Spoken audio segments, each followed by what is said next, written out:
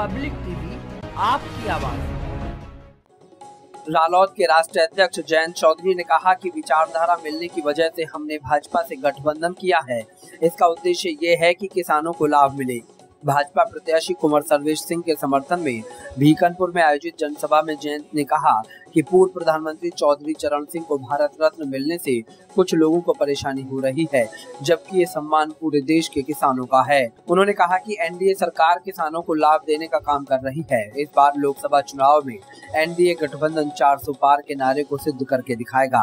कहा कि एनडीए गठबंधन ने जो घोषणा पत्र जारी किया है, उसमें रालौद के विचारों की अनेकों समानताएँ पाई गई हैं। मुरादाबाद के पीतल उद्योग पर जयंत चौधरी ने कहा कि यहाँ बने पीतल के बर्तन और वस्तुएँ पूरे देश के साथ ही विदेशों में भी जाती हैं, इसलिए मुरादाबाद का नाम दूर तक जाना जाता है।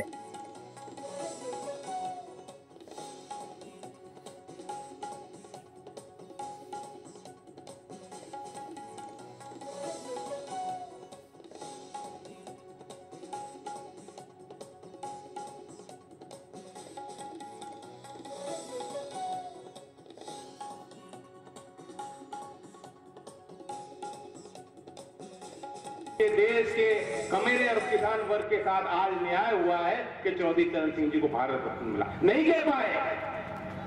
क्योंकि जब तक उनका स्वार्थ था, तब तक उनके दिल में चौधरी चरण सिंह भारत सरकार ने चौधरी साहब को भारत रत्न दिया। कोई छोटी बात नहीं है। और आपने ये भी देखा होगा कि बहुत लोगों के पेट में दर्द हुई। बहुत लोगों को समझ नहीं आया ये क्यों और कैसे हो गया। आपके विचारों को लेके हम लोगों को साथ चलना है। और अब कल ही जो घोषणा पत्र बीजेपी ने जारी किया, उसमें कुछ ऐसी चीज़ें हैं जो सीधा दिखाती हैं कि एक मेल है, एक संगम है विचारों का। और साल की बात, सबसे पहले तो जो यशवीर जी कह रहे थे जो आज योजना बनती है, बिचौलिए की प्रथा को समाप्त कर दिया। उस कारण से भेदभाव नहीं हो सकता। चाहे हिंदू हो, मुसलमान हो, सिख हो, किसी भी जाति से हो। क्योंकि डेटा है सब सरकार का। और नई विधि के प्रयोग करके योजनाओं का क्रियान्वयन हो रहा है। सीधा एक झटके में खातों में पैसा पहुँच जाता है। चाहे वो आयुष्मान हो, चाहे प्रधानमंत्री।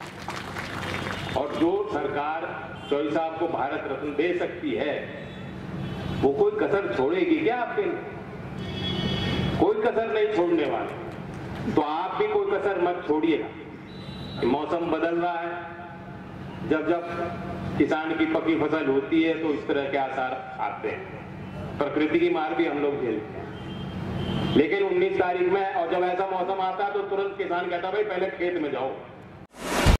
पब्लिक टीवी, आपकी आवाज़।